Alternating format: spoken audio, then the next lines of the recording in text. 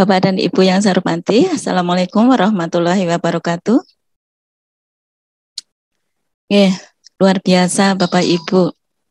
Hitungan beberapa menit, zoomnya dibuka saja sudah langsung seribu. Semangat sekali ya Pak Bu, luar biasa. Tapi memang ini yang diharapkan ya Bapak Ibu. Um, langsung saja Pak Selamat. Oke, baiklah. Saya share screen saja ini supaya lebih jelas, ya. Nah, dan bahan saya kelanjutan dari Pak Selamat. Bapak Ibu, kalau ada pertanyaan ini, saya hanya ingin mengulang saja, mereview saja. Memangnya kalau menjadi sekolah penggerak itu manfaat apa yang diperoleh? Banyak ya. Oh ya, kalau banyak berarti nggak bisa dihitung banyak ada beberapa nggih Bapak dan Ibu kita review lagi. Yang pertama Pak Bu bahwa setidaknya sekolah Bapak Ibu itu nanti akan mendapatkan kesempatan satu. Nah, ini saya pakai pointer ala Zoom. Satu, Bapak Ibu akan mendapatkan kesempatan untuk meningkatkan hasil mutu pendidikan dalam kurun waktu tiga tahun. Nah, mengapa tiga tahun? Uh, karena program ini berjalan tiga tahun ke depan dan Bapak Ibu akan mendapatkan pendampingan ya sepanjang uh, program Bapak Ibu uh, program yang Bapak Ibu laksanakan. Kemudian mengapa yakin kalau hasil mutu pendidikan di sekolah Bapak Ibu akan meningkat ya? Karena Bapak dan Ibu selain kepala sekolahnya, guru dan bahkan pengawasnya juga akan mengikuti peningkatan kompetensi melalui pelatihan. Nah, yang ini yang eh, PSP tahap 2 dalam beberapa hari ini sedang proses pengajuan tim ya, tim komite pembelajaran dan itu nanti akan mengikuti pelatihan secara daring. Yakin bahwa itu akan meningkat? Ya, memangnya yang dilatihkan itu apa? Yang dilatihkan kepada sekolah, kepada Bapak dan Ibu adalah bagaimana Bapak dan Ibu menyelenggarakan pembelajaran menggunakan paradigma baru. Dan paradigma barunya itu wadahnya adalah kurikulum. Konstruksinya itu berupa kurikulum. Dan kalau Bapak Ibu, apakah itu kurikulum yang baru? Ya, kurikulum sekolah penggerak apa bedanya dengan kurikulum merdeka apa bedanya dengan kurikulum prototip yaitu itu yang dimaksudkan sama dan Bapak Ibu dengan menjadi sekolah penggerak itu sama artinya dengan sekolah Bapak Ibu itu menjadi sekolah piloting pemberlakuan kurikulum ini. Emangnya kalau bukan sekolah penggerak tidak menjadi sasaran pilot proyek kurikulum ini? Tidak. Nah, gitu ya ceritanya. Wah, oleh karenanya Bapak Ibu ayo semangat. Setidaknya Bapak Ibu akan mendapatkan kesempatan ini. Yang kedua, yang ketiga. Yang ketiga, Bapak dan Ibu, bahwa menjadi sekolah penggerak ataupun tidak, pada akhirnya pun Bapak Ibu akan terkena uh, akan diminta untuk melaksanakan program digitalisasi sekolah. Kalau tidak menjadi sekolah penggerak, iya juga Nah, kalau menjadi sekolah penggerak, Bapak Ibu akan mendapatkan percepatan. Mengapa? Karena banyak yang Bapak Ibu dapatkan nanti. Bapak Ibu juga akan mendapatkan eh, apa ya support ya, supporting perangkat TIK-nya, kemudian um, tidak hanya perangkatnya ya Bapak Ibu, softwarenya misalnya jaringan terkendala karena sekolah Bapak Ibu di di apa ya di 3T Oh, blank spot ya menurut Pak Selamat. Jadi susah sinyal ya kalau seperti di film itu ada SS susah sinyal. Nah, itu nanti Bapak Ibu akan mendapatkan banyak fasilitas. Bahkan mungkin akan di dilakukan kerjasama dengan Telkomsel, bagaimana agar sekolah Bapak Ibu mendapatkan akses jaringan lebih lebih mudah. Nah, itu di antaranya. Yang keempat, nah dengan satu dua tiga ini Bapak Ibu uh, punya kesempatan nih untuk menjadi katalis. Katalis itu adalah zat atau sesuatu atau kalau itu Bapak Ibu sekolah adalah sekolah yang dapat mengantarkan percepatan perubahan. Jadi mempercepat terjadinya perubahan, transformasi mutu pendidikan di sekolah ke sekolah lain. Nah, jadi kalau lewat apa? Lewat pengimbasan. Tapi Bapak Ibu tidak sekedar mengimbaskan begitu saja apa yang Bapak Ibu laksanakan. Bapak Ibu ada budaya untuk melakukan refleksi secara berkala. Supaya kendala yang Bapak Ibu alami, Bapak Ibu refleksikan, Bapak Ibu rumuskan e, tindak lanjut perbaikannya dan itu akan menjadi praktik baik saat Bapak Ibu diseminasi dengan sekolah lain. Wah, sekolah Bapak Ibu nanti akan menjadi tempat atau jujukan uh, sekolah bertanya tentang bagaimana pembelajaran yang baik.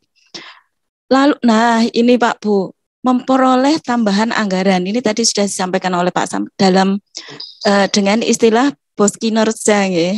Dan bos kinerja Bapak dan Ibu uh, itu akan digunakan atau boleh digunakan untuk membiayai semua program penggerak Bapak dan Ibu.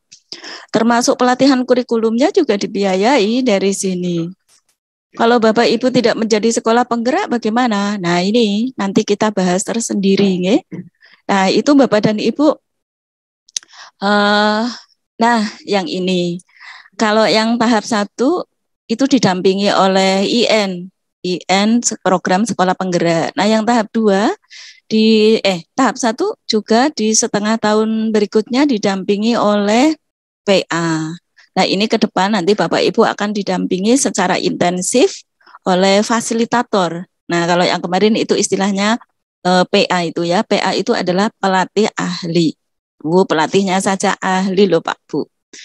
Lanjut. Nah, harapannya Bapak dan Ibu dari manfaat-manfaat yang Bapak Ibu peroleh, maka Bapak dan Ibu dapat mewujudkan eh, apa eh, capaian di mana Oh iya, istilah PA-nya nanti berubah menjadi fasilitator. Ya oke. Okay. Percepatan untuk mewujudkan pelajar yang memiliki karakter profil pelajar Pancasila. Harapannya begitu Pak Bu.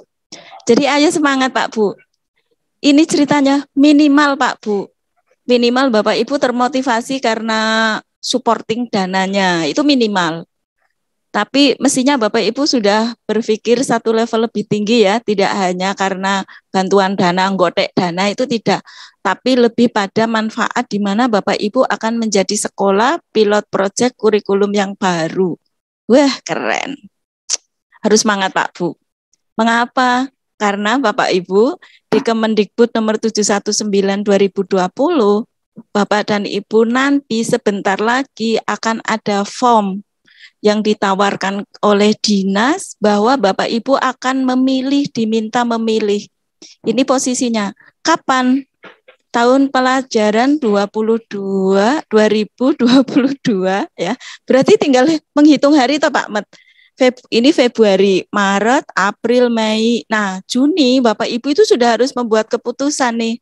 Sekolah Bapak Ibu akan menerapkan kurikulum apa? Kalau di Kemendikbud tersebut itu kan ada tiga pilihan sekolah Bapak Ibu akan tetap pakai kurikulum 2013 yang yang ketika itu nanti di hasil belajar siswa itu diukurnya lewat AN, asesmen literasi, asesmen numerasi, sementara pembelajarannya belum menggunakan paradigma baru, eh, Bapak Ibu merasa ini kan nggak sesuai kurikulumnya masih seperti ini kok asesmennya pakai yang baru-baru. Bapak Ibu sendiri sudah di medsos itu kadang sudah sudah berdiskusi hal itu gitu ya bahwa aneh ya kan kurikulumnya masih lama kok asesmennya udah pakai cara-cara baru. Nah itu. Atau bapak ibu memilih menerapkan kurikulum darurat yang kurikulum pandemi. Padahal sekarang sudah tidak pandemi bapak ibu walaupun masih ada covid tapi bapak ibu sudah PTM 100% walaupun dengan alokasi waktu yang tidak eh, seperti kurikulum 2013 Terus yang ketiga, Bapak Ibu akan memilih menerapkan kurikulum prototipe sebagai opsi.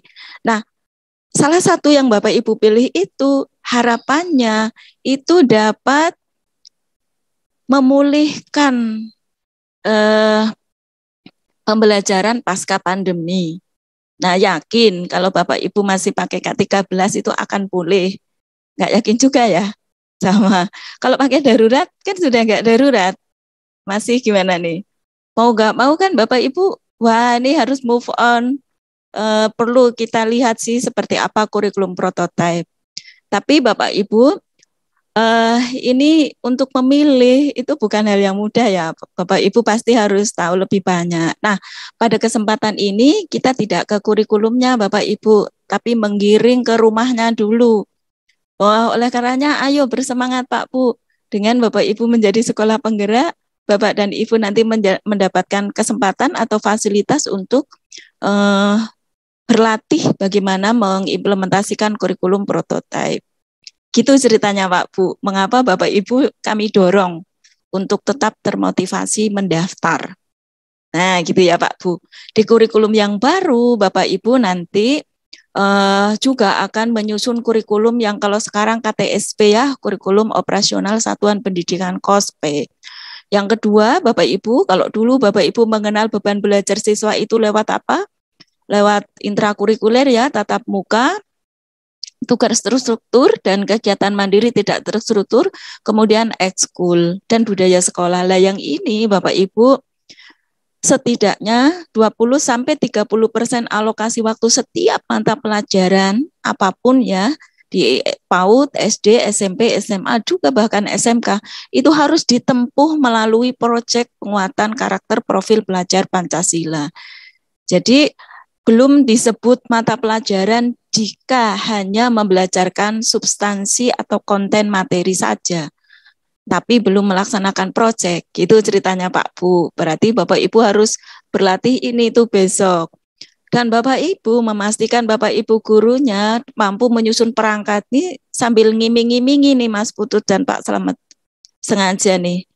Perangkatnya apa? Bu, katanya di medsos itu di YouTube itu guru besok nggak buat silabus. Ya memang betul nggak buat silabus tapi membuat alur tujuan pembelajaran. Itu sama dengan silabus, beda. Semuanya berbeda, Pak Bu. Jadi ini sengaja ya, sengaja saya jadikan pemicu Pak Selamat supaya ayo kita bergerak dan katanya nggak buat RPP, udah pada senang banget loh Bu. Iya silahkan, memang kan senang nggak buat silabus, nggak buat RPP seneng ya.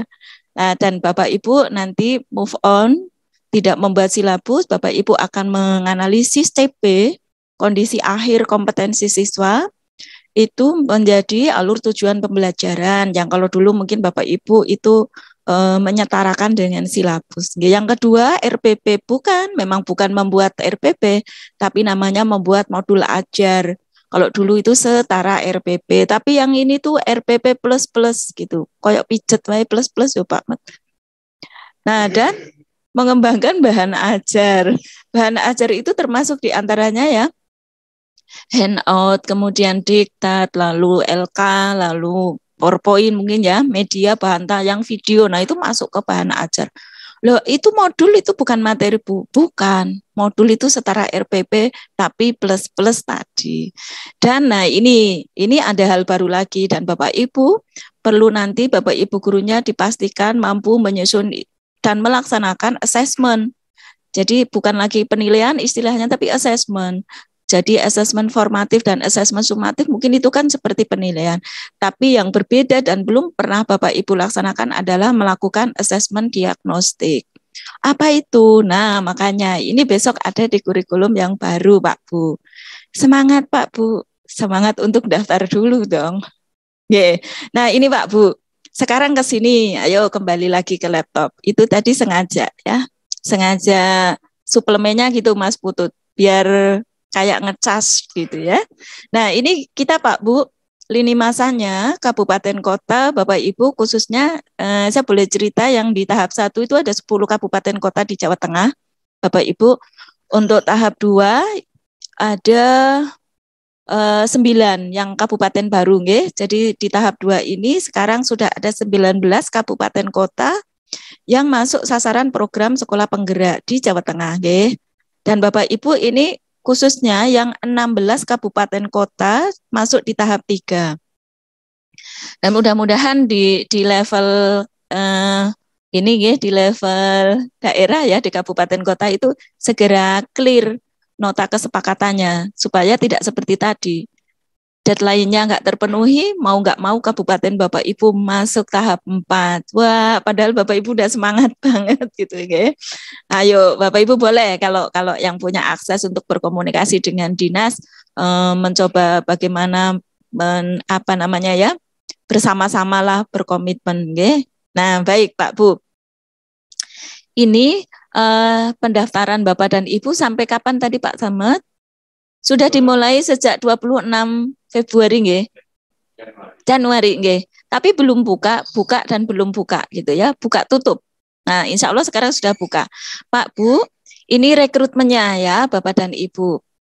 Perjalanan rekrutmennya. Uh, ada yang itu area um, apa namanya ya dinas, ada yang areanya Bapak Ibu. Nah, di penentuan daerah sasaran yang provinsi dan kabupaten kota itu kewenangannya pusat ya Bapak Ibu.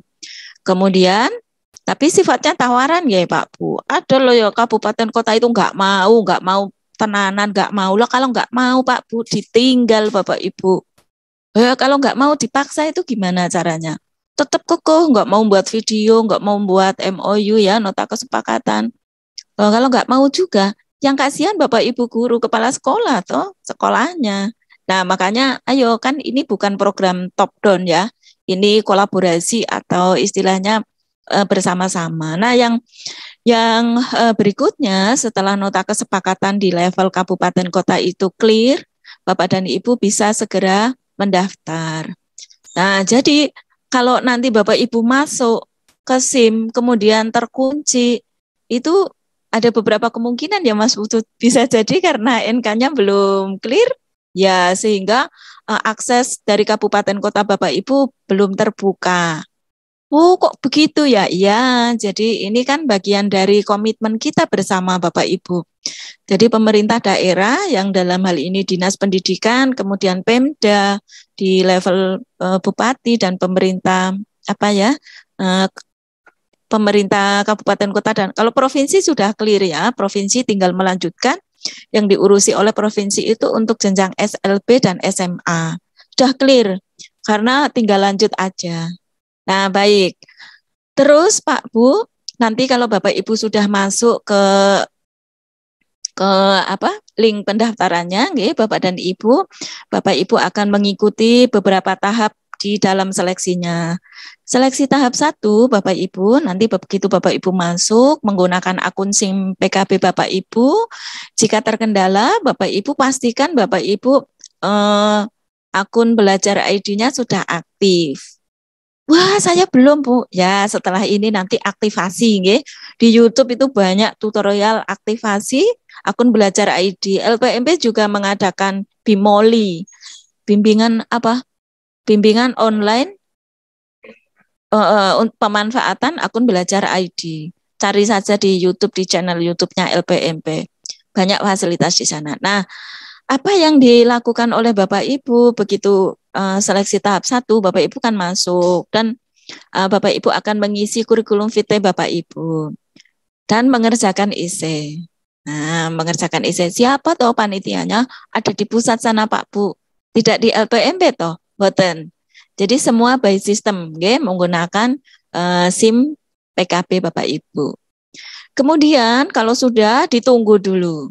Tunggu dulu beberapa saat, kemudian nanti akan ada pengumuman pengumuman uh, yang lolos dari Bapak Ibu yang mendaftar lolos seleksi tahap satu. Ditunggu Bapak Ibu dipanteng terus SIM PKB Bapak Ibu. Begitu Bapak Ibu pakai HP, jangan lupa ya, uh, klik dikasih ini kode agar Bapak Ibu bisa uh, mengakses uh, tautan SIM PKB Bapak Ibu dengan mudah kapan saja di mana saja. Nah nanti kalau Bapak Ibu dapat notifikasi di SIM PKB Bapak Ibu, artinya Bapak Ibu ada informasi nih, lolos gitu nggih, terus kemudian masuk seleksi tahap 2. Nah, di seleksi tahap 2 Bapak Ibu, nanti Bapak Ibu akan me diminta untuk melakukan simulasi mengajar dan akan diwawancarai oleh asesor. Nah, tunggu dulu nanti akan ada jadwal yang langsung terinformasi di uh, SIM PKP Bapak Ibu. Kemudian Baru setelah itu ada nilai. Nilai yang diperoleh dari hasil simulasi dan hasil wawancara. Nilainya oleh pusat dikirim ke UPT. Siapa UPT-nya? Kemdikbud yang di provinsi, LPMP.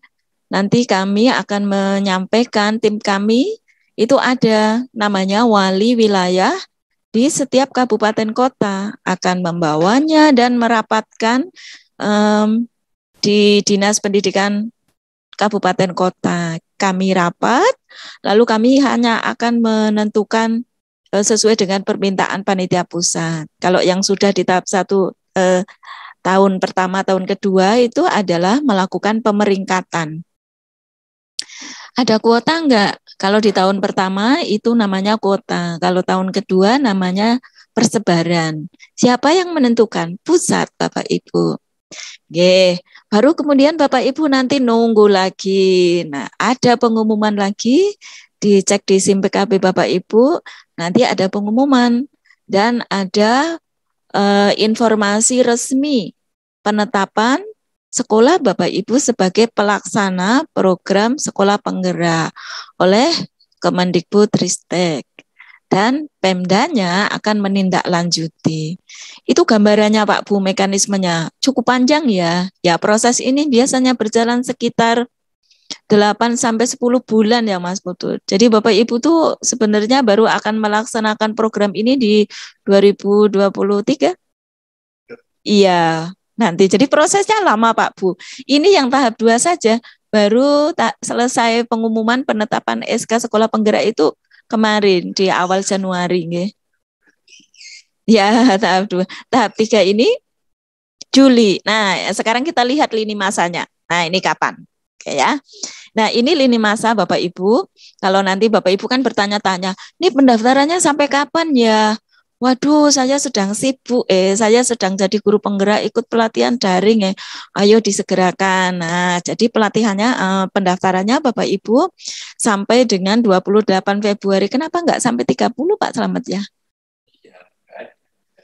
Oh ya, kayak maaf ya Pak Bu, karena tidak ada, tidak sampai 29, 30, jadi sampai 28 Februari saja. Iya, enggak ada ya. Iya. Oke.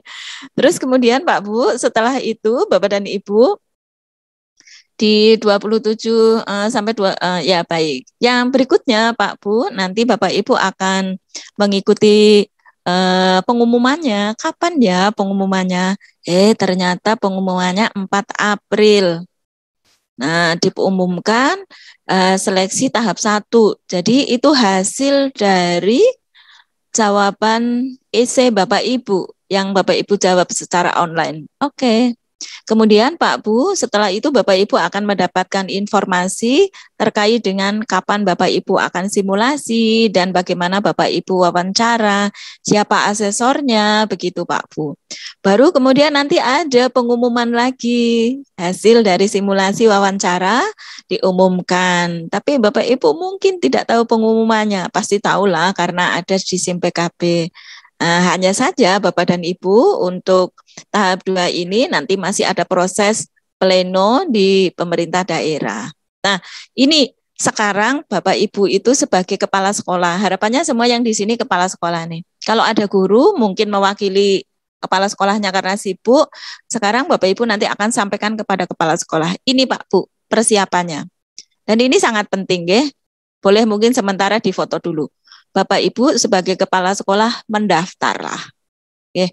Yang kedua, daftar saja tidak cukup. Daftar, klik mendaftar itu saja belum cukup. Ikuti seleksinya, alurnya ya Pak Bu. Nah, yang tadi mengisi kurikulum vitae, lalu kemudian menjawab pertanyaan-pertanyaan atau essay yang Bapak Ibu kerjakan secara online, kemudian Bapak Ibu juga menunggu, nanti setelah ada hasilnya, Bapak Ibu juga mengikuti, jika lolos, mengikuti e, melaksanakan simulasi, melaksanakan wawancara, nah itu. Nah nanti kalau sudah ada pengumuman lagi, Bapak Ibu dinyatakan lolos, Bapak Ibu bersama-sama dengan komite pembelajaran uh, wakil guru, kemudian ada pengawas pembina Bapak Ibu, itu menjadi tim PKP, tim pelatihan komite pembelajaran akan mengikuti pelatihan secara daring dan setelah pelatihan Bapak Ibu akan melaksanakan IHT. IHT di sekolah sendiri. Siapa yang melatih menjadi narasumber adalah komite pembelajaran yang tadi selesai mengikuti pelatihan daring. Nah, mengapa enggak tatap muka? Wah, repot ya. Nah, daring sudah didesain oleh GTK. Nah, setelah itu Bapak dan Ibu akan membangun komunitas praktisi.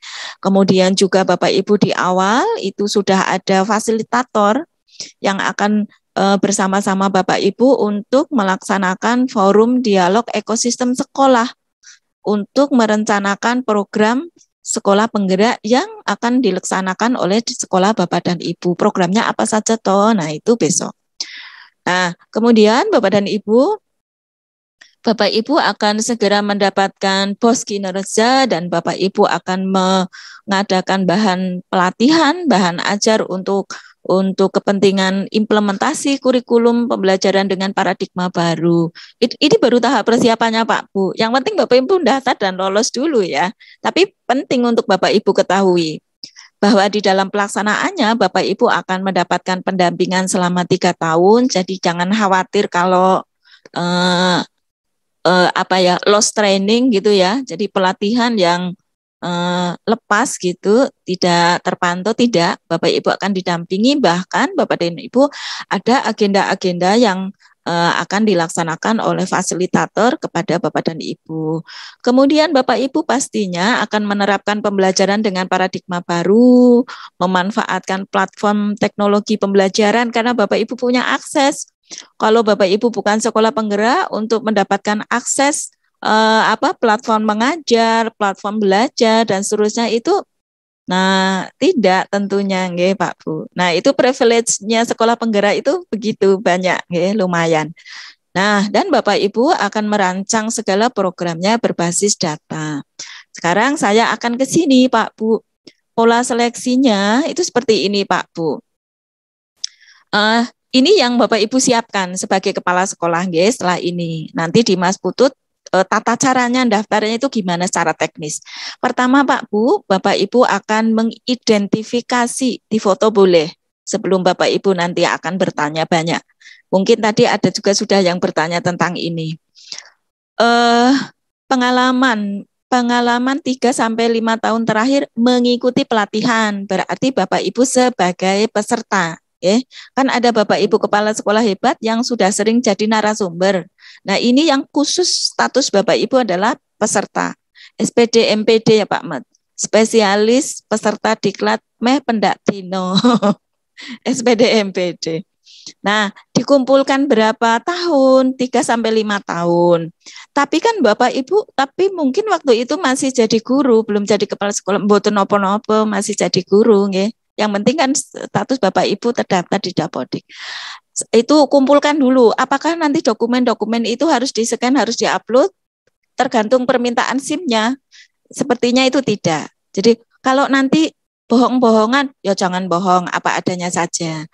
Kemudian pengalaman Bapak Ibu berorganisasi, Lalu Bapak Ibu kan punya banyak program lintas organisasi nggih kerjasama, prestasi Bapak Ibu. Lah tapi prestasi saya saat itu baru prestasi sebagai guru. Enggak apa-apa. Kan ini karena kemarin itu ada yang sudah bertanya tentang ini. Saya saat jadi kepala sekolah itu belum punya prestasi apa-apa, enggak apa-apa. Saat jadi guru yang penting kurun waktunya 3 sampai 5 tahun yang lalu ya. Kalau sudah saya juara juaranya sudah 8 tahun yang lalu gitu ya jangan. Nah, ke, nah ini ya di masyarakat Bapak Ibu harapannya juga aktivis ya Bapak Ibu minimal itu kalau guru kepala sekolah itu Pak RT, Pak RW, tapi yo tidak mungkin jadi kepala desa ya. Atau kalau ibu kepala sekolah berarti istri kepala desa bisa ya Pak Selamat. Ketua PKK boleh. Terus hobi, hobi Bapak Ibu itu apa? Enggak punya hobi, Oh aneh ya, mosok hobi nggak punya ya? Punya lah minimal olahraga, seni, hobi nyanyi, menyumbangkan lagu, lagu baik-baik jadi sumbang gitu. ya atau apa saja ya olahraganya mau disebutkan juga boleh. Nah, terus nah ini Pak Bu. Jadi sepertinya yang diunggah itu adalah KTP Bapak Ibu di foto scan, filenya nanti diunggah. Terus fakta integritas dan surat dukungan dari dinas izin atasan ya, itu sudah ada templatenya. Jangan membuat sendiri Bapak Ibu. Unduh dulu, ikuti mekanismenya nggih. Nanti Bapak Ibu unduh, Bapak Ibu isi, lalu Bapak Ibu print, Bapak Ibu mintakan asman, lalu Bapak Ibu scan lagi, baru Bapak Ibu unggah. Eh, ampun ngarang loh nggih. tahap itu tahap satu nggih. Nah, sekarang bocorannya. Loh kok pakai bocoran ya? Ya ini bukan bocoran, kalau diinformasikan kepada Bapak Ibu ini resmi. Saat tahap satu, Bapak Ibu akan diminta menjawab delapan kelompok pertanyaan. Kalau kelompok berarti di anak di dalamnya ada anaknya, kelompok anggota kelompok, okay. Jadi ada delapan pertanyaan dan Bapak Ibu diminta menjawabnya dengan essay. Kemudian Bapak dan Ibu um, proses menjawabnya adalah uh, secara online. Saran saya, triknya nggih Pak Bu, setiap Bapak Ibu membuka online baca pertanyaannya, Bapak Ibu jawablah di Word di lembar Word uh, dulu. Bapak Ibu ketik setiap angka nomor pertanyaan, sub pertanyaan, ketik tek tek tek tek tek, baru kemudian pastikan masih dalam jaringan online ya Pak Bu, copy paste jika bisa dengan jumlah karakter yang ditentukan. Uh, karakter itu apa? Huruf, tanda baca, space, spasi itu karakter. Setiap titik, koma dan seterusnya. Beda dengan kata nggih. Jadi uh, kata dengan karakter pasti nanti akan lebih banyak karakter. Nah, gitu ya. Nah, setelah itu Pak Bu baru Bapak Ibu uh, masukkan sebagai jawaban. Begitu satu. Kenapa? Karena ketika online Bapak Ibu tidak menutup kemungkinan itu Bapak Ibu jaringannya jelek, loss gitu ya. Begitu Bapak Ibu ngetik langsung di tek tek tek tek tek tek belum disimpan, eh hilang, lepas dari jaringan. Internetnya apa bandwidthnya lemah, Bapak Ibu nggak bisa kirim. Begitu disimpan, belum disimpan. Harus ngetik lagi dari awal. Lupa tadi apa yang jawaban Bapak Ibu. Nah, itu caranya begitu. Begitu Bapak Ibu uh, dan jawaban Bapak Ibu harapannya adalah nyata. Semuanya itu berbasis pengalaman atau tindakan yang Bapak Ibu laksanakan selama ini. Nah, gitu ya Pak Bu. Ngarang boleh nggak? Kalau ngarang Bapak Ibu nanti malah tambah sulit ya, apa adanya saja. Nah ini ya Bapak Ibu itu di tahap satu. Setelah sudah Bapak Ibu jawab, boleh nggak nyicil? Boleh. Yang penting begitu menjawab Bapak Ibu simpan. Begitu menjawab dan pastikan ketika jawaban Ibu tersimpan itu Bapak Ibu membuka lagi itu ada nyicil misalnya sehari menjawab satu kelompok pertanyaan boleh besok menjawab pertanyaan berikutnya tapi harus dipastikan bahwa semua Bapak Ibu punya arsipnya ya. Mengapa? Karena pada saat Bapak Ibu nanti tahap dua di dari jawaban Bapak Ibu di tahap satu ini akan menjadi dasar oleh tim di Jakarta untuk meloloskan atau tidak. Nah, nanti kalau lolos, Bapak Ibu di SIM PKB Bapak Ibu akan ada notifikasi, Bapak Ibu akan dihubungi juga oleh asesor yang akan memberitahukan atau mengkonfirmasi kapan jadwal Bapak Ibu akan simulasi mengajar. Dan simulasinya adalah secara daring. Bapak Ibu diharapkan eh, menggunakan Google Meet ya. Semoga ya saya yakin semua Bapak Ibu sudah bisa membuka Google Meet dan mengirim link kepada asesor untuk simulasi. Berapa lama? 10 menit aja tanpa murid loh. Walaupun tanpa murid, Bapak Ibu diharap tidak mengatakan e, prememori. Sekarang apersepsi ya, apersepsinya prememori saja. Jangan pernah katakan prememori, Pak Bu. Ya, lakukan seolah-olah itu secara natural Bapak Ibu itu melalui tak pembelajaran tahap pendahuluan, inti dan penutup. Jadi jangan pernah katakan prememori. Kalau studi, uh, maaf, diskusi misalnya, diskusi ya, ya Bapak tunggu diskusinya beberapa menit ke depan, silahkan.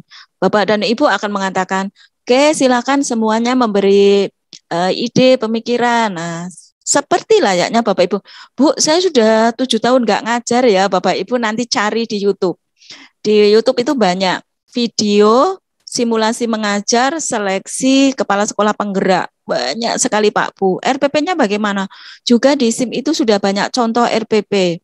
Pakai satu lembar atau ikuti saja instruksinya yang ada di SIM. Kalau harus pakai satu lembar, Bapak Ibu pakai satu lembar. Nah Pak Bu, jadwal kapan Bapak Ibu akan simulasi itu selain ada di SIM PKP juga akan terkirim ke email Bapak Ibu dan Bapak Ibu akan dicat di WhatsApp Bapak Ibu oleh asesor.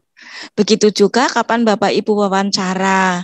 Yang mau wawancara ada dua orang asesor dan informasinya juga melalui SIM PKB. Sudah sangat jelas gambarannya Pak Bu. Yang penting Bapak Ibu semangat nih Pak Bu. Nah Bapak Ibu Nanti kalau Bapak Ibu sudah lolos di tahap 2 dinyatakan lolos, maka Bapak Ibu akan gambarannya ya supaya Bapak Ibu ada gambaran nih. Bapak Ibu akan diminta untuk menyusun tim eh, PKP, pelatihan komite pembelajaran yang akan Bapak Ibu ikutkan pelatihan secara daring. Nah, Bapak dan Ibu eh, di sekolah Bapak Ibu di setiap bulan juga akan ada loka karya, ada refleksi, nge. Uh, kemudian komite pembelajaran tadi siapa? Satu kepala sekolah, dua pengawas, tiga wakil guru. Harapannya ada kalau ke SD juga ada wakil guru kelas uh, rendah, kelas tinggi, ada kalau guru PK di SMP ada wakil guru. Nah, kemudian Bapak dan Ibu, peran kepala sekolah di sekolah penggerak itu mengembangkan kelompok belajar guru di sekolah Bapak Ibu. Jadi komunitas kalau dulu kan ada Bu KKG sekolah, MGMP sekolah nah nanti diaktifkan lagi. Kemudian Bapak Ibu kepala sekolah melalui melakukan coaching secara berkala bagi guru dan tendik. Coaching itu seperti uh, membimbing gitu ya Pak Bu. Dan jangan lupa seorang kepala sekolah juga diharapkan akan um, secara berkala, tidak jemu-jemu untuk mendorong Bapak Ibu gurunya merefleksi dan meningkatkan pembelajarannya secara holistik. Termasuk memastikan Bapak Ibu gurunya mampu melaksanakan asesmen diagnostik, kemudian memilih toolkit yang tepat. Bapak Ibu juga memastikan guru-guru di sekolah Bapak Ibu melaksanakan pembelajarannya berpusat pada murid. Wah repot ya enggak, enggak repot itu hal biasa kalau untuk kepala sekolah ya supervisi kan juga sama. Nah ini Bapak dan Ibu gambarannya seperti itu. Kemudian nah ini besok itu ada yang kalau sekarang namanya pelatih ahli, besok namanya fasilitator ya Mas Putut. Di sekolah Bapak Ibu besok akan didampingi ya, oleh seorang fasilitator. Kalau kemarin Bapak Ibu dengar istilah PA PA gitu ya, pelatih ahli. Nah, dan fasilitator ini kalau sekarang itu mendampingi 3 sampai 8 sekolah. Karena masih kondisi seperti ini eh, masih di mungkin melaksanakan tugasnya masih secara daring. Kemudian Bapak Ibu khusus dari unsur lulusan guru penggerak hanya mendampingi maksimal dua sekolah. Jadi ada fasilitator yang ini ya Pak Bu yang dari unsur guru penggerak juga daftar fasilitator lolos. Nah, misalnya seperti itu. Nah, ini Pak Bu menjadi pengajar di komite pembelajaran. Nanti Bapak dan Ibu pada pelatihan komite pembelajaran itu akan diajar oleh fasilitator ini atau kemarin istilahnya pelatih ahli. Kalau di ta tahun pertama itu yang mengajar komite pembelajaran adalah instruktur nasional ada sendiri nggih Pak Bu. Kemudian fasilitator itu mendampingi kepala sekolah dan guru dalam proses implementasi kurikulum prototipe. Nah, ini Pak Bu, jangan khawatir bagaimana nanti menyusun kurikulumnya, bagaimana membuat ininya akan didampingi. Nah, kemudian Bapak dan Ibu setiap bulan akan mendampingi juga sekolah untuk melakukan roka karya. Ye. Dan Bapak dan Ibu eh, juga akan bersama-sama dengan pengawas. Nah, ini gambarannya ya, Bapak Ibu.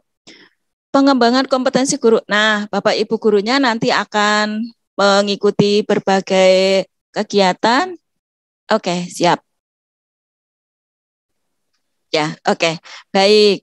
Nah, itu ya gambarannya Bapak dan Ibu. Nanti ketika Bapak Ibu eh, sudah menjadi sekolah penggerak, Bapak Ibu akan mendapatkan banyak fasilitas yang tadi saya berikan penggambarannya dan bahan ini akan diberikan kepada Bapak Ibu sekarang.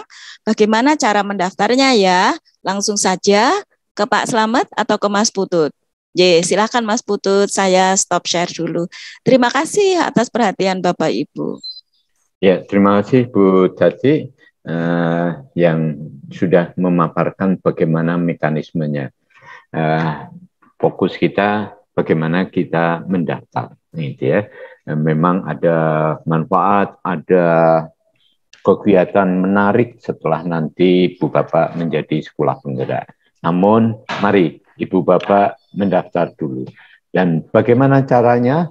Inilah uh, core of the core, intinya inti uh, eh, PSP ini, Mbak Putut ini dan Pak Putut ini adalah PIC, person of change gitu ya. In charge. Uh, charge ya. Ya. Baik, Pak Pudut, tolong dijelaskan bagaimana tata cara mendaftar kepala sekolah penggerak. Monggo Pak Pudut. Iya, Pak Turun Pak, selamat. Uh, ya, selamat siang, pagi menjelang siang. Uh, Alhamdulillah kita ketemu di room yang lumayan besar besar malah ya seribu gitu kan sudah full seribu di YouTube juga sudah tiga ribu gitu kan berarti total sudah empat ribu viewer ini. Jadi, uh, izin saya share untuk mengenai tata caranya, bagaimana mendaftar. Jadi, tata cara pendaftaran kepala sekolah PSP. Tadi sudah disampaikan Bu Tati uh, mekanismenya ya, mekanisme seperti apa. Nah, ini sekarang uh, tiba di saat teknisnya seperti apa. Nah, ini nanti juga Bapak Ibu kami mohon uh, bagi daerah yang terutama di daerah tahap 3, 2 dan 3 ya, atau mungkin 1, 2 dan 3 lah ya. Nah, itu uh, silakan nanti di 35 kabupaten kota yang join sekarang ini kami persilakan sambil ya, sambil mencoba uh, mendaftar dan nanti kami juga mohon informasi daerah-daerah mana yang belum bisa mendaftar ya. Supaya itu buat bahan dari kami untuk menindaklanjuti. Uh, terutama ini ketika di tahap tiga daerah yang tahap tiga kecuali yang tadi ya Pak Slamet ya yang Sukoharjo dan Karanganyar ya. Kecuali dua itu memang dua daerah itu belum bisa mendaftar. Tapi kalau yang daerah lain tahap tiga lain itu seharusnya sudah bisa. Nah kalau ada yang belum bisa uh, kami mohon uh, informasinya. Yeah. Ya, alur pendaftaran kepala sekolah penggerak ya. Bapak Ibu bisa langsung mengunjungi ke websitenya Kemdikbud, yaitu di sekolah titik penggerak ya. Titik penggerak titik Kemdikbud garis miring sekolah penggerak. Nah, itu ya. Ini di atas bapak ibu ya kelihatan ya Ya. Dan Bapak Ibu, berkaitan dengan pendaftaran ini, maka data-data Bapak Ibu semua itu akan menjalani siklus ya, siklus hidup layanan basis IT di Kemendikbud. Uh, di mana data-data Bapak Ibu guru, uh, Bapak Ibu kepala sekolah penggerak itu kan tersimpan di Dapodik ya, tersimpan di Dapodik. Maka seluruh data yang digunakan pada proses pendaftaran KS penggerak ini adalah data yang diambil dari Dapodik.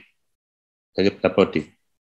Jadi semulai sekarang silakan Bapak Ibu koordinasi dengan operator sekolah, dengan operator dinas, konfirmasi apakah datanya sudah fix ataukah belum. Mungkin data Bapak Ibu di Dapodik sekarang ini seharusnya sudah definitif gitu kan. Tapi ternyata kok masih PLT. Nah, itu harus dipastikan lagi. Apakah memang masih PLT atau uh, sudah menjadi definitif? Karena kepala sekolah penggerak ini memang statusnya harus definitif, ya harus definitif. Kemudian apakah sekolahnya sudah betul ada di dapodik gitu ya. Nah, itu dipastikan lagi.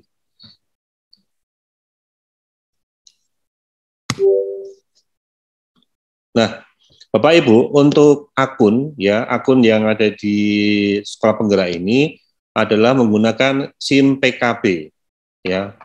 Kami yakin Bapak Ibu sudah memiliki ya akun SIM PKB yang nantinya SIM PKB ini akan digunakan sebagai ID untuk single sign on ya, SSO. Nah ini satu akun untuk semua layanan GTK. Jadi nanti Bapak Ibu itu ketika sudah memiliki akun SIM PKB bisa mengakses sekolah penggerak, guru penggerak, atau program-program yang ada di kementerian. Itu semua akan menggunakan akun SIM PKB. Jika ada Bapak Ibu yang belum memiliki akun SIM PKB, silakan menghubungi operator sekolah atau dinas supaya dibuatkan akun SIM PKB. Syaratnya hanya satu, ada UKG, nomor UKG. Nah, itu. Nah, kalaupun belum ada, nah, monggo silakan konsultasi dengan uh, dinas pendidikan. Nah, ini Bapak Ibu, uh, dapoding yang digunakan ketika Bapak Ibu nanti melakukan sinkronisasi dengan sekolah, dengan dinas, jika ada perubahan, maka sistem akan membutuhkan waktu kira-kira 2 kali 24 jam sudah terupdate di SIM PKB atau sudah terupdate di aplikasi uh, Merdeka Belajar ini ya aplikasi milik, milik apa milik Kemdikbud ini sudah akan tersinkron selama waktu tadi 2 kali 24 jam. Maka data yang berubah di daerah sudah berubah di pusat. Nah, itu ya 2 kali 24 jam untuk proses sinkronisasi. Nah, kemudian Bapak Ibu nanti setelah tadi masuk ke website tadi, silakan nanti menggunakan login dengan akun SIM PKB ya. Akun SIM PKB, kemudian nanti melakukan pengisian CV seperti tadi yang disampaikan Bu Tati, kemudian mengisi esai dan kirim berkas. Nah, tahap satu saat ini itu Bapak Ibu melakukan pengisian CV dan pengisian esai ya dan kirim berkas. Kemudian nanti akan diverbal oleh panitia pusat dan akan diumumkan melalui SIM PKB, melalui WA, melalui email, gitu ya, akan di sana. Ya, kemudian tadi Bapak Ibu ketika nanti sudah lulus di tahap satu, maka di SIM PKB juga, di WA juga, di email juga akan dikabarkan mengenai apakah Bapak Ibu lolos tahap satu untuk melaksanakan seleksi di tahap dua, yaitu tahap simulasi mengajar ya melalui daring ya dengan Google Meet dan wawancara. Itu pun juga melalui Google Meet ya secara daring. Setelah proses simulasi mengajar dilalui, wawancara dilalui, dan nanti juga akan diumumkan tahap dua juga melalui SIM PKB melalui email atau melalui WA. Sehingga tahap yang selanjutnya yaitu penetapan sekolah pelaksana akan terjadi.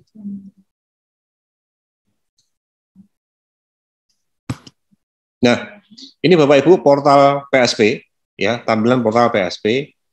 Bapak Ibu bisa mengakses ke sana sekolah titik penggerak titik kemdikbud titik go titik id garis miring program sekolah penggerak.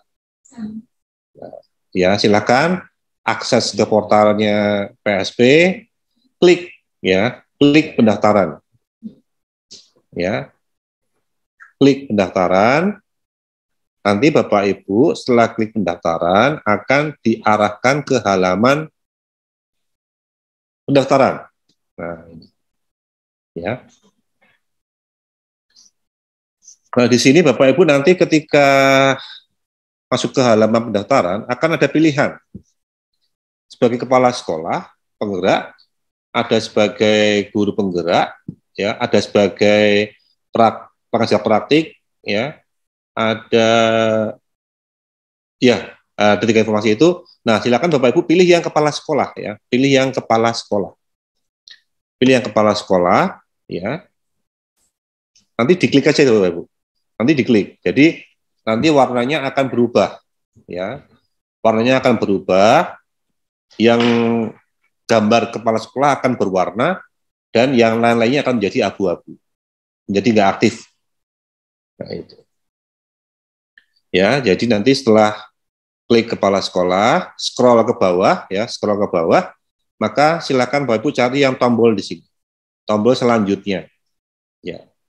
Tombol selanjutnya. Ya, di scroll ke bawah, tombol selanjutnya.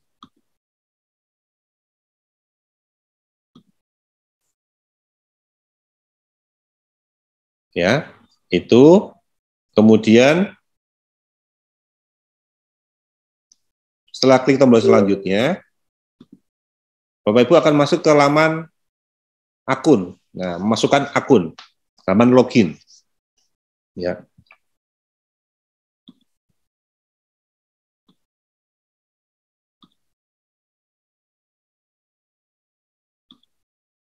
Ya. Ini masukkan login login ini. Login akun SIM PKB ya. Pastikan menggunakan akun ya nomor UKG titik guruku ID nah ya menggunakan akun SIM PKB sekali lagi jika belum punya akun SIM PKB atau lupa passwordnya nah itu silakan menghubungi operator sekolah atau operator dinas. Ya, itu bisa membukakan uh, mengenai akun si PKB-nya kemudian masukkan kata sandi, ya, terus klik masuk. Setelah klik masuk, contoh di sini, nama kepala sekolahnya yaitu Yani Suryani. Ya, biasanya kalau yang Yani Suryani, Ajat Sudrajat, kemudian Mehmet Slamet, nah itu dari Jawa Timur tuh biasanya. ya, Jawa Barat, eh Jawa Barat Jawa Timur. Jawa Barat misalnya itu. Ya nama yang diulang-ulang. Nah, itu di situ ya, Yani Suryani. Nah, ini nama Bapak Ibu nanti muncul, kemudian klik daftar sekarang. Ya, klik daftar sekarang. Nanti akan dilanjutkan dengan tampilan seperti ini Bapak Ibu. Ada yang namanya fakta integritas. Ya, fakta integritas di sini adalah digunakan sebagai pemastian bahwa Bapak Ibu kepala sekolah akan mengikuti seleksi sekolah penggerak. Ya. Ini. Jadi ada pernyataan bahwa jika saya lolos semua tahap seleksi, saya bersedia mengikuti seluruh kegiatan sebagai peserta program sekolah penggerak. Nah, itu di centang ya Bapak Ibu, ini dicentang. Dicentang dulu baru daftar. Kalau nggak dicentang itu nggak muncul, nggak nyala ini daftarnya. Dicentang dulu, kemudian baru klik daftar. Ya, setelah itu Nah, akan muncul formulir pendaftaran, Bapak Ibu. Jadi formulir pendaftaran di sini akan memunculkan secara otomatis ya. Data akan diambil dari Dapodik. Sekali lagi, data akan diambil dari Dapodik karena Bapak Ibu sudah memasukkan uh, akun si PKB-nya akan terdeteksi sekolahnya dari sekolah mana. Nah, ini. Pastikan yang muncul di sini adalah sekolah Bapak Ibu sekarang, ya, yang terkini, yang definitif. Nah, pastikan sekolah di sini. Kalau Bapak Ibu mengampu, ya, kepala sekolah di SDA, kemudian PLT di SDB, maka pilihan di sini juga akan ada dua sekolah. Bapak Ibu pilih yang definitif, ya, mendaftar melalui sekolah yang definitif, jangan yang PLT ya mendaftar melalui sekolah yang definitif. Di sini pastikan, nah akan ada pertanyaan informasi dasar. Apakah Anda benar menjabat sebagai kepala sekolah di SD Negeri 3 Nyangkom? Ya, ini istilahnya SD Nyangkom. Tentu nggak di Jawa Tengah ini. Ini pilih ya. Kemudian apakah statusnya negeri? Ya, jika ternyata statusnya berubah menjadi swasta ya pilih tidak. Ya. Jika emang negeri pilih ya. Apakah betul sekolah itu ada di Nyangkong. Nah, ya, jika iya semua, tinggal klik selanjutnya. Nah, ternyata ada ketidaksesuaian. Ada ketidaksesuaian data, maka silakan Bapak Ibu mengirimkan catatan. Diketik saja di sini, di kolom di sini diketik. Yang salah tuh apanya? Apakah alamatnya beda atau nama sekolahnya berubah, gitu kan? Atau statusnya berubah? Nah itu silahkan dituliskan eh, di kolom di sini. Nanti akan menjadi masukan ke operator Dapodik Pusat untuk dilakukan updating. Ya, updating. Kemudian klik kirim. Ya. Kemudian setelah Bapak Ibu tadi masukkan data dasar di sekolah, kemudian Bapak Ibu akan mengisi data pelengkap. Akan diminta memasukkan NIK ya, NIK Bapak Ibu dimasukkan, kemudian nomor telepon dalam kurung terhubung WA. Ya, jadi memasukkan nomor telepon yang ada WA-nya. Ya. Nomor telepon yang ada gambar hijaunya. Kalau minuman kan yang yang ada gambar gajahnya gitu. Ini yang ada gambar hijaunya, ya. nomor telepon yang ada gambar hijaunya atau WA.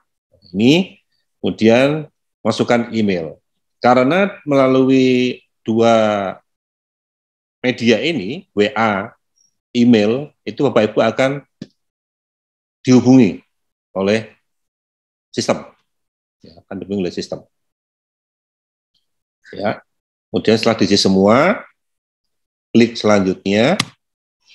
Nah, maka ada konfirmasi data nih, rangkuman data personal. Tadi Yani Suryani, kalau sekarang jadi Simpson ya. Nah ini. Ini hanya beda tampilan saja sih, beda akun ya. Tadi akunnya Bu Yani Suryani, sekarang akunnya Simpson. Nah, ini nama lengkap sudah betul, statusnya sudah betul, nama sekolah sudah betul, alamat sudah betul, NIK sudah oke. Okay. Nah, jika sudah betul semua, pilih yang hijau. Semua data sudah benar. Ya, jika belum, maka akan dikembalikan ke model yang tadi. Disesuaikan dulu. Nah, kemudian setelah betul, maka akan muncul formulir pendaftaran. Dan tinggal Bapak Ibu centang di bawah ini.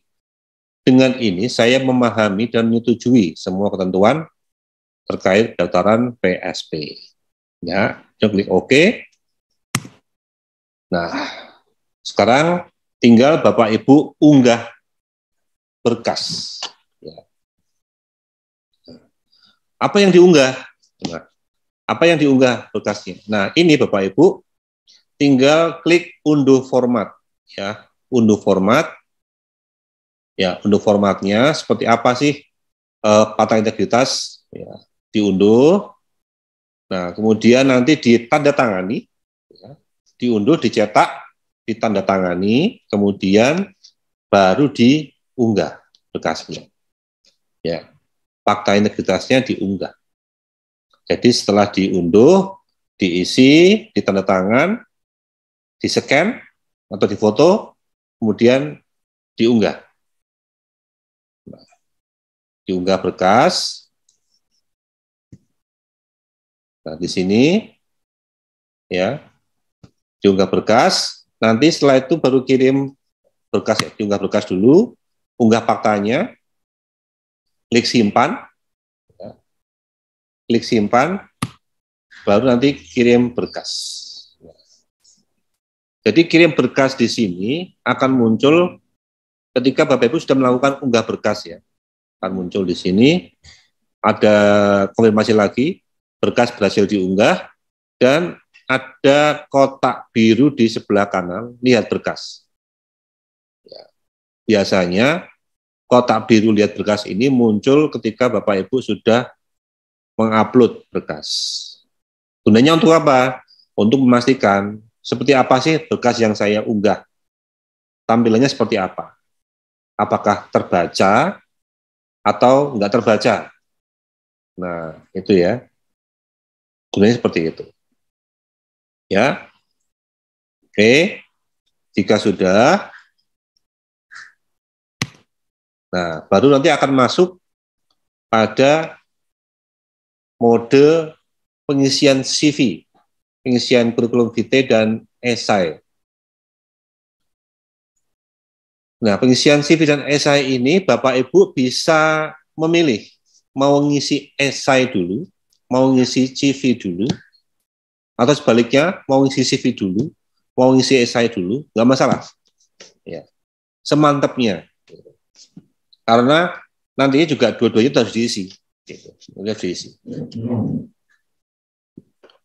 Nah, sebelum Bapak Ibu melakukan mulai mengerjakan CV dan esai, di bagian atas ada kolom unduh berkas surat pernyataan. Ya.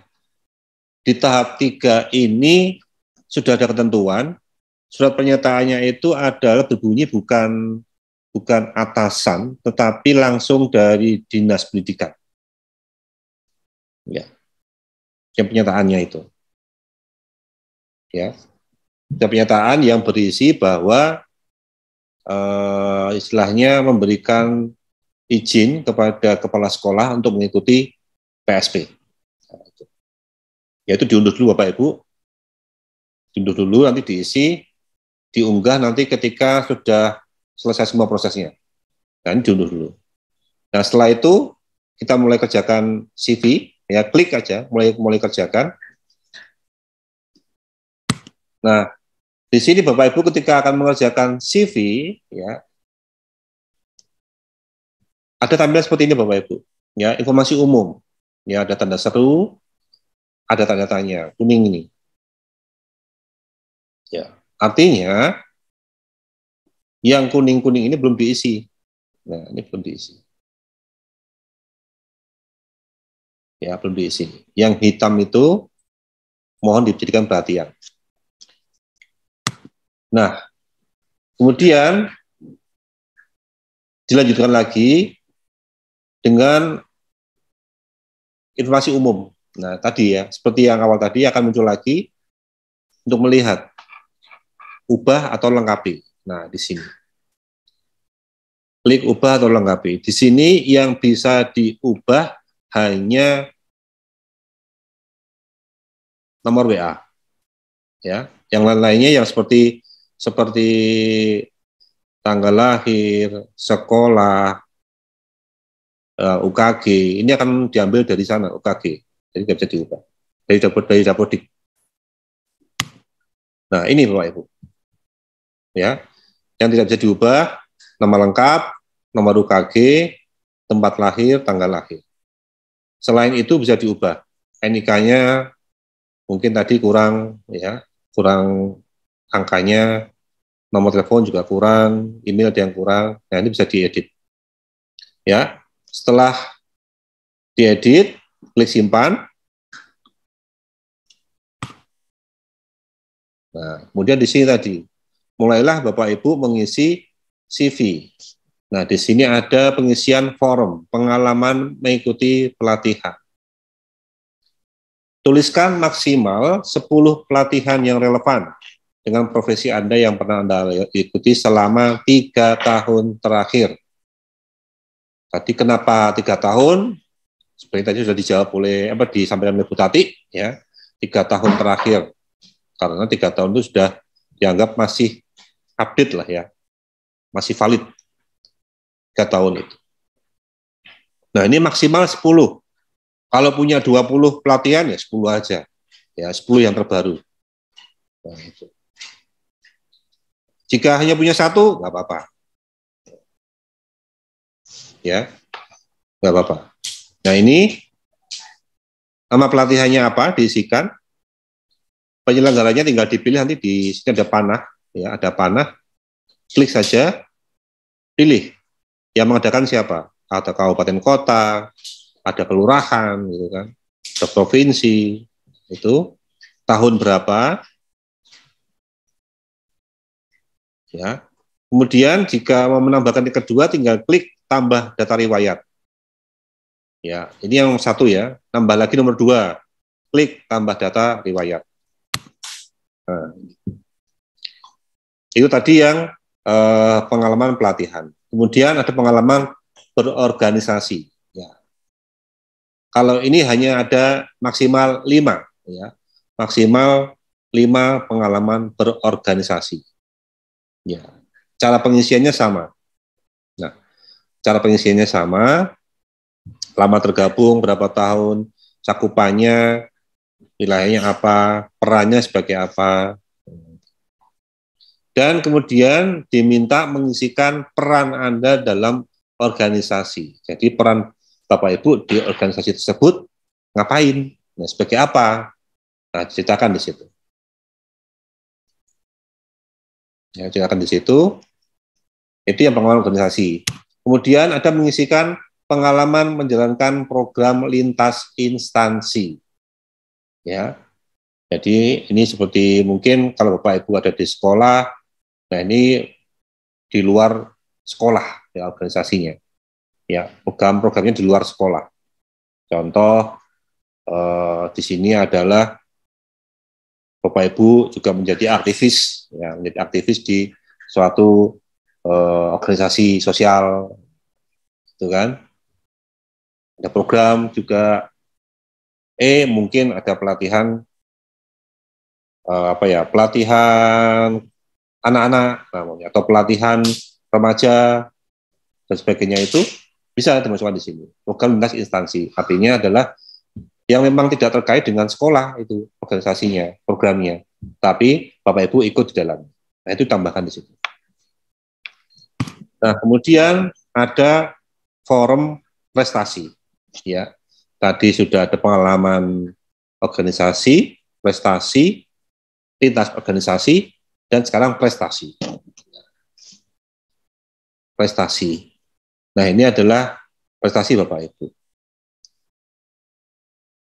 Ya, prestasi Bapak Ibu yang pernah Anda ya, bukan prestasi satuan pendidikan. Jadi kalau di sekolahnya juara eh, apa namanya lingkungan itu adiwiyata, nah, adiwiyata itu adalah prestasi satuan pendidikan, ya bukan prestasi personal. Jadi yang diminta adalah prestasi personal dalam kurun waktu lima tahun terakhir. Baik. Nah, kemudian yang kelima, hobi. Nah, tadi disinggung Putati, masuk nggak punya hobi, ya, gitu kan? Tulis ya, hobi yang ditekuni. Hobinya adalah mager, malas gerak. itu itu hobi juga bisa. Itu hobi saya juga tuh malas gerak kalau pas Ah, mancing. mancing itu enggak, ah, tambah lagi hobinya rebahan. gitu. Nah, itu. Ya tambahkan aja Bapak Ibu. Ya, tapi sebisa mungkin adalah hobi yang kira-kira uh, sangat menunjang uh, kompetensi Bapak Ibu. Ya. Kalau mancing jadikan hobi, ya nggak apa-apa. Jadi paling tidak ada kompetensi kesabaran di situ. nah itu kan mancing, apalagi kalau nggak dapat gitu kan, oh, sabar banget gitu kan wes berjam-jam gitu kan, berjam-jam nggak dapat apa-apa, sampai rumah diomeli. ya, Pak Ibu. Iya, seperti itu. Uh, hobi.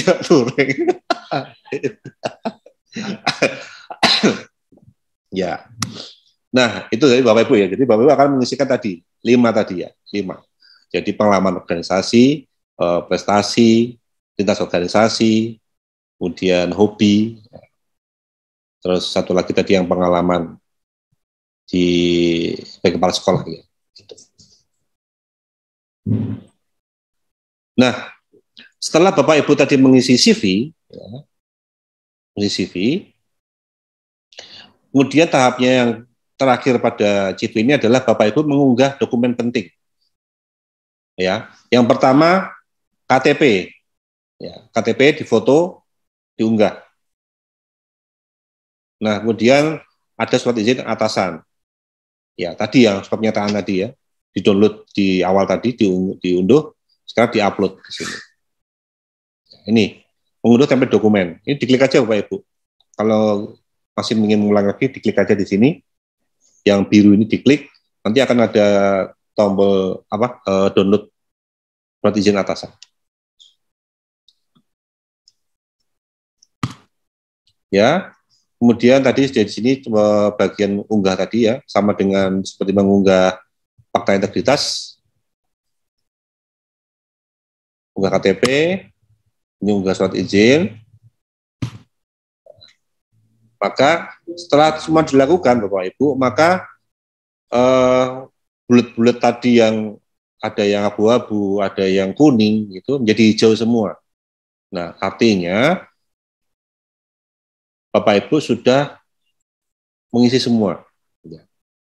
Walaupun pada pengalaman mengikuti pelatihan, pengalaman berorganisasi, pengalaman menjalankan program organisasi, prestasi, keterlibatan dalam kegiatan komunitas masyarakat, hobi. Nah ini satu dua tiga empat lima enam yang tengah ini sifatnya adalah opsional, ya, tidak wajib diisi.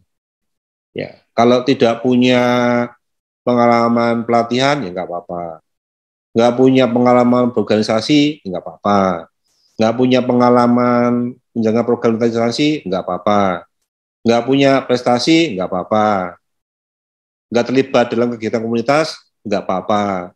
Nggak punya hobi, nggak apa-apa. Nah, terus ngapain daftar gitu ya. punya apa-apa ngapain daftar. Karena Bapak Ibu, jadi kami sarankan adalah Bapak Ibu isi ya, apa pun itu. Apa pun itu diisikan sehingga menjadi hijau semua, ya apa pun itu. Karena dari poin-poin inilah yang akan dijadikan bahan wawancara di tahap kedua ya. Jika Bapak Ibu lolos, maka akan dilanjutkan dengan wawancara dan isian-isian tadi itu akan digunakan oleh pewawancara sebagai bahan. Ya, untuk memastikan lagi, betul nggak Bapak Ibu mengikuti pelatihan ini, betul nggak hmm. punya pengalaman ini, gitu kan, pengalaman A, pengalaman B, punya prestasi satu, prestasi dua, seperti itu. Nah, kemudian tadi yang CV. Sekarang adalah contoh pengisian esai.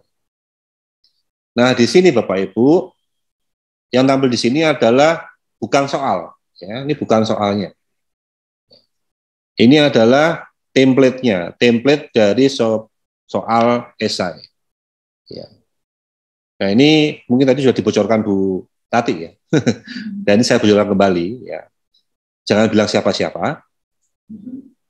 Nanti isi dari esai ini adalah soal-soalnya adalah mengenai tadi Bapak Ibu pengalaman kepala sekolah ngapain, di organisasi ngapain.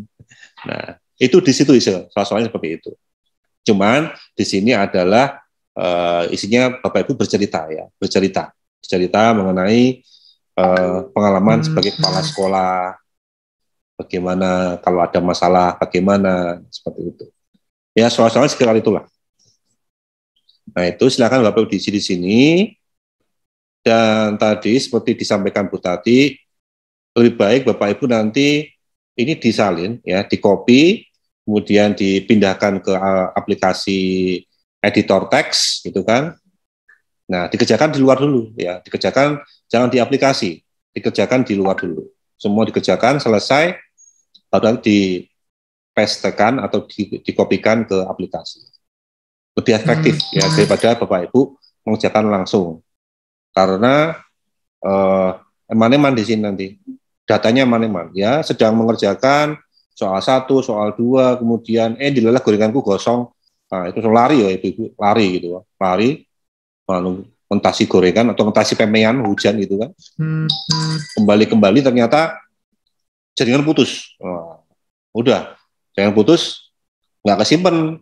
Nah, akibatnya ngulangi lagi. Nah, itu yang dihindari di situ. Yang menghindari eh, error-error teknis seperti itu. maka disalin dulu, dikerjakan di luar aplikasi, nanti baru dikopikan ke sini. Nah, seperti ini Bapak Ibu, pembuat esainya. Nah, kemudian setelah selesai, nah ini centang hijau lagi. CV sudah diisi centang hijau. Esai sudah diisi centang hijau, tinggal kirim berkas. Ya, klik kirim berkas, selesai. Nah, yang berikut ini adalah videonya. Nah, ini karena nanti mempengaruhi ke jaringan Bapak Ibu, tidak saya putar. Nah, silakan Bapak Ibu uh, mengunjungi portal Sekolah Penggerak ya. Di sana ada videonya, di YouTube juga ada. Nah, itu silakan Bapak Ibu pantau di sana bagaimana tadi flow-flow-nya. Dan terima kasih Bapak Ibu dan nanti setelah ini kita akan ada sesi tanya jawab waktu kami kembalikan ke Pak Selamat. Monggo Pak Selamat.